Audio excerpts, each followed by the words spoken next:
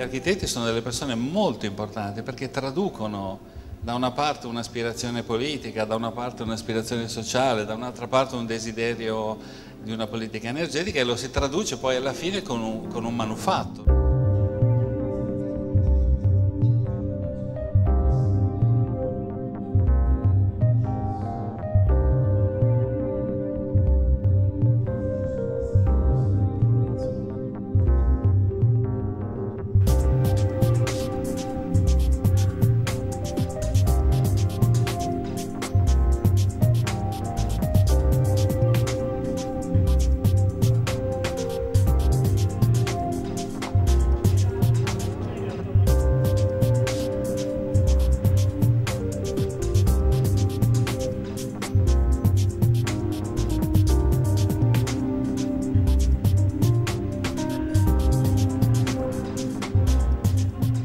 L'edificio consuma molto di più,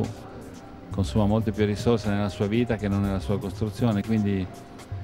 tolto il tema della costruzione a cui bisogna fare attenzione, il vero tema è come mantenere gli edifici, quindi per me il tema dell'impronta ecologica è legata al fatto che gli edifici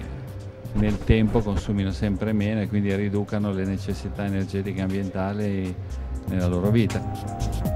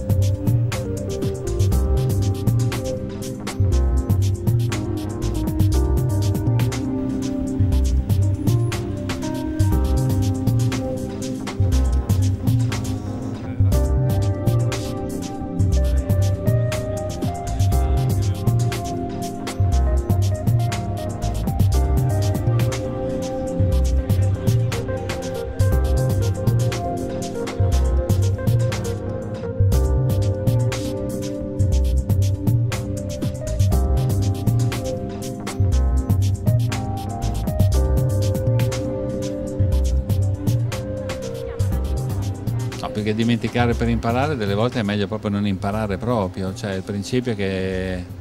i principi educativi sono molto spesso forme di diseducazione, no? cioè uno invece che essere educato viene diseducato perché prende un'educazione sbagliata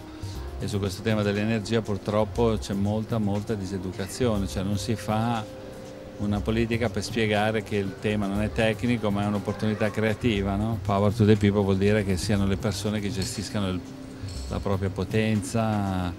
elettrica o energetica, no? quindi tornare o avviare un secondo passaggio come è avvenuto sull'informazione, sull'informatica e anche sull'energia, cioè una distribuzione più democratica più libera nella gestione delle risorse.